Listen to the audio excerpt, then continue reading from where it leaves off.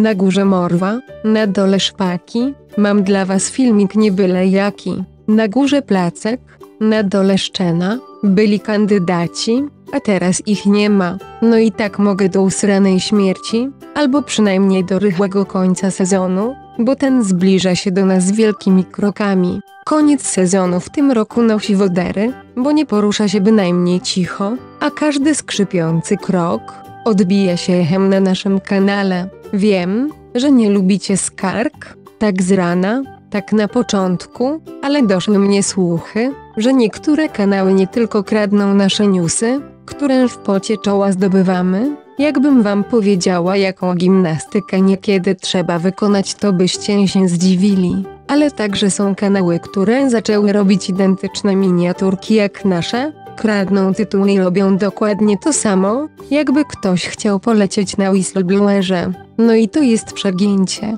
Nie mogę kazać wam hejtować cudzych filmów, najlepiej jakbyście ich nie oglądali, ale ze swojej strony proszę was kochani widzowie o subskrypcję i komentarz pod filmem, żeby mi YouTube przez takich lamusów zasięgów nie ucinał, nie bądźcie Józefem, że sobie pomacacie i wypad. A teraz już temat dzisiejszego odcinka. I nie jest nim bynajmniej Józef Hefner. W ostatnim dziewiątym odcinku jak wiemy Maciej w końcu dokonał jakiegoś wyboru w swoim życiu, a ewidentnie chłopak tych wyborów dokonywać nie lubi.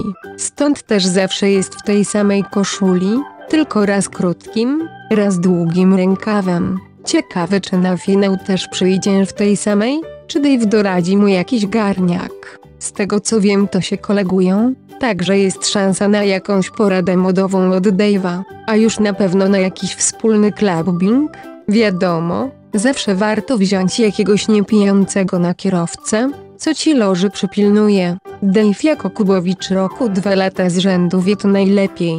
A wracając do Macieja i jego wyborów, co prawda wiedzieliśmy, że wybierze szczerzącą się jak szpak do czereśni Ilonkę, jak powiedział Marcie Manowskiej argumentując swoją zmianę obiektu westchnień, na ostatniej rozmowie z prowadzącą twierdził, że jej faworytką jest Monika i to ona sprawia, że Maciek ma motylki w brzuchu. Także musiał się wytłumaczyć, dlaczego nagle Monika zmieniła się na Ilonę. Maciej jak wiemy powiedział, że Monika jest zbyt pewna siebie i może okazać się kłótliwa. Co innego Ilona, bezrobotna bileterka kinowa z dyplomem ukończenia pedagogiki specjalnej, nie pracująca w zawodzie, bo jest zbyt trudny. Ale to Monice, która pracuje w czterech szkołach, ucząc dwóch przedmiotów, Dodatkowo znajdując czas na robienie zdjęć i treningi Maciek zarzucił, że jest leniwa, bo jedyna praca to praca, którą wykonuje Maciej,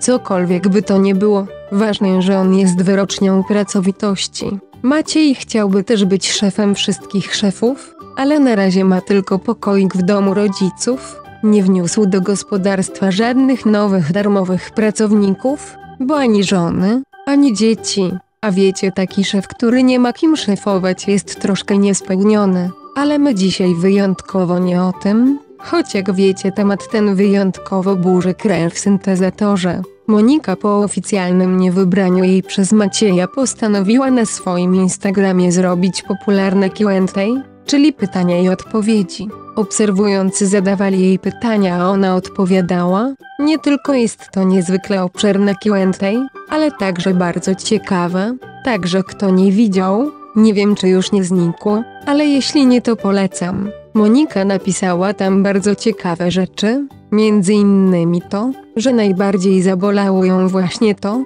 że Maciej określił ją jako leniwą, co zdecydowanie mija się z prawdą, a także kłótliwą. Monika nie robiła jednak wyrzutów Maćkowi z tego powodu, wytłumaczyła to tym, że mieli zbyt mało czasu, żeby się poznać. Napisała tam też inną ciekawą rzecz.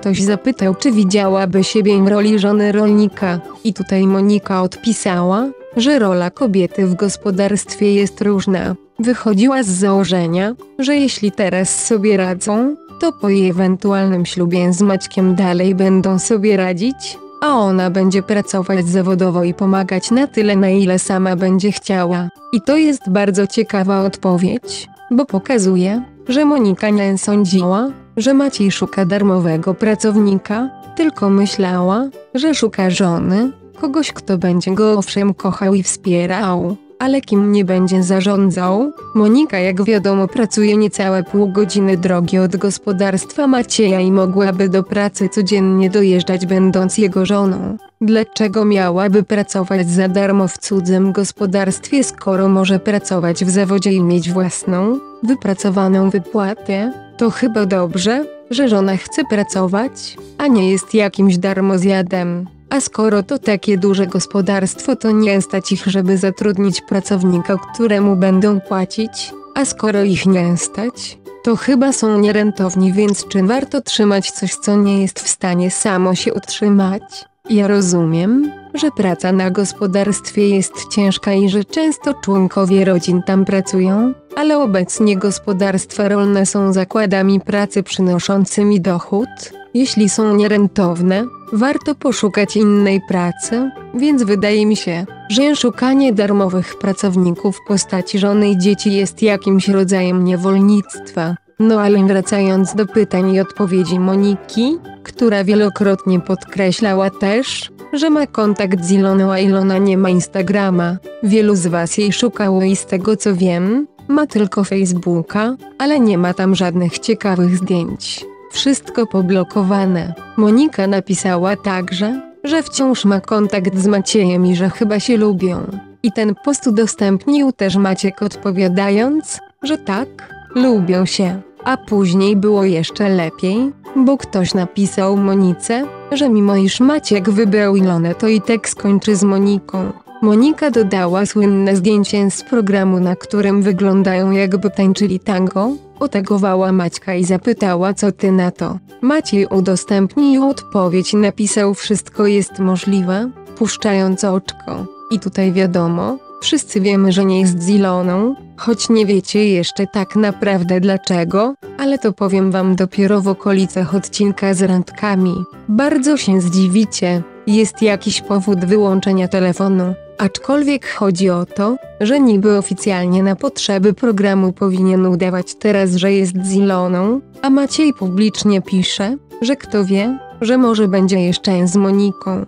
Jakby nie patrzeć jest to słabe zagranie, nawet jako żart, ale ten kawaler też niezbyt mocny się okazał. Myślicie, że Monika po tym wszystkim chciałaby z nim być? Tutaj nie pytam nawet o Macieja, wiadomo dlaczego. Kolejne kontrowersje wśród Was wzbudziło zwolnienie napisane przez Macieja dla Moniki, na którym produkcja zamazała miesiąc, a był to lipiec albo sierpień. Tak naprawdę nie wiadomo, bo zauważcie, że u Pawła odcinki nagrywane były w sierpniu, skoro Marta powiedziała, że za dwa tygodnie mają wesele brata Pawła, a wesele to było jakoś 29 sierpnia. No cóż, dla mnie luty, dla ciebie maj, wstaw co ci pasuje. Teorie spiskowe chodzą też w koło tego, co powiedziała mama Macieja do taty Macieja przy stole, kiedy syn przyszedł do nich z nową wybranką. Chodzą słuchy po wsi, że mama Macieja powiedziała do taty,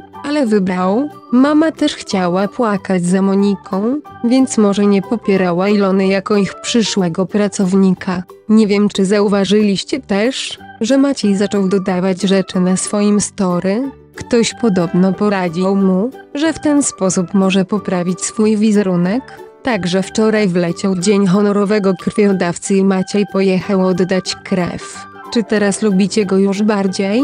Bo jak nie to będzie musiał oddać coś innego. Byle nie koszulę, bo to byłby problem. Choć jak wiadomo odcinki finałowe i świąteczne nagrane, także może już nie będzie mu potrzebna. No to co? Dla mnie luty, dla ciebie maj, a dla rolników znak pokoju i bye bye jakiś taki nacechowany negatywnie ten odcinek, dlatego wrzucę wam na koniec plakat z Krzysiem i Markiem, bo ostatnio bardzo was ucieszył. Znak pokoju na spokojny wtorek i bye bye.